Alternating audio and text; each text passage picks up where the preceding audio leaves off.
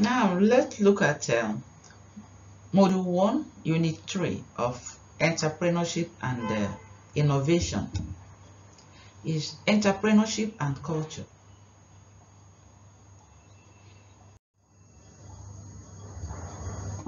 Culture is a way of life. It's people's way of life. Almost all human activities have certain cultural values. That is their belief, custom, tradition, ethics, behavior of the people. It applies to individuals. It also applies to teams and the entire organization, apart from the society. It is said that entrepreneurship may be linked with culture. Because take for instance the issue of autonomy independence. In some societies people strive to be independent to take their destiny into their hands. So autonomy is part of human nature and most societies people strive to be independent. But some cultures they encourage creativity more than others. Sense of responsibility is acknowledged in most cultures. Hard work. You have other components of culture, values, rules of conduct. In fact, every organization has it as well. Vocabulary, the language. People don't just talk, being disrespectful, the way people talk and address other people. Methodology, the way they do things, rituals, myths, and stories.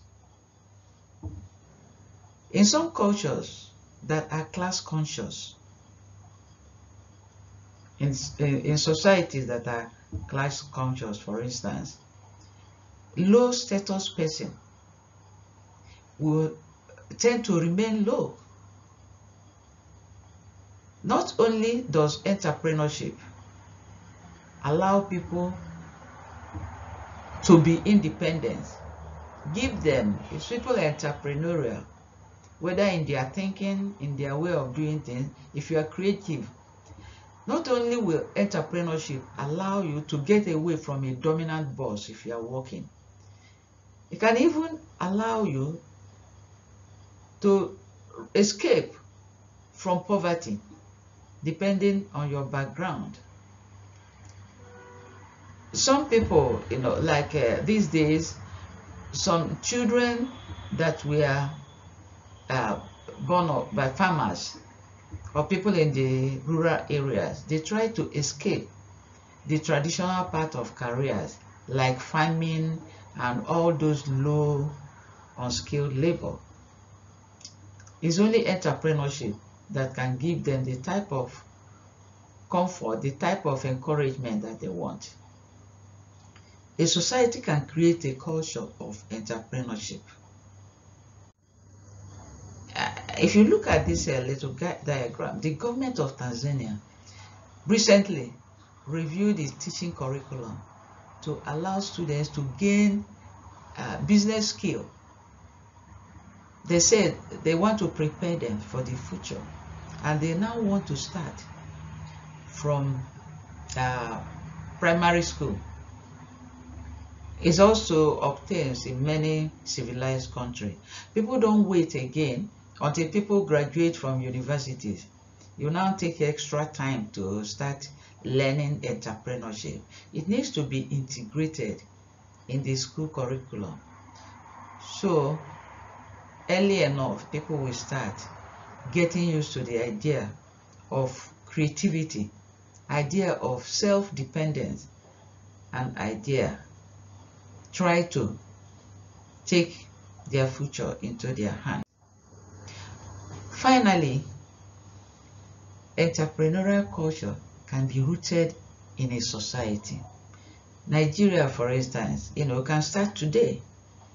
It's not late yet. Even if they don't, you can start on your own. Know that you can start dreaming Start thinking of what you like doing best. Your hobby, what you like to do. It doesn't matter what it is.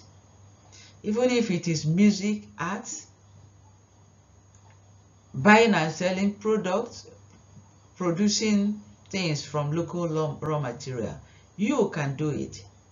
So it's never too late or too early. It can start from the family. Education can help too.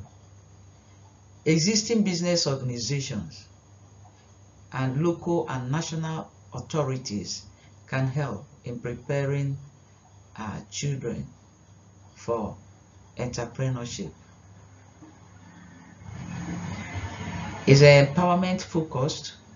There is freedom to succeed or fail.